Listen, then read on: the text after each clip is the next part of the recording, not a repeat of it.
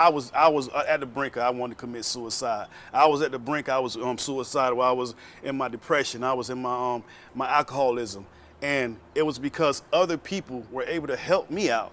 I have to give that back. So I feel good when I'm able to just give them a card and say, hey, listen, these people right here will be able to help you out with food. These people will be able to help you with your lights. To me, that's my payment because I'm helping to save someone else's life, but also to help save their family life. I mean, I just tell them they have to keep on fighting because the thing about it is, sometimes this thing is a lot bigger than us.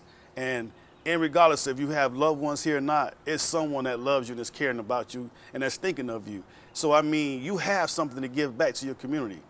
Don't, don't allow your community to suffer by them not being able to receive what you have to give. We all have something to give. And that's what makes all of us so unique and so special because we all have something that no one else has but me. Right.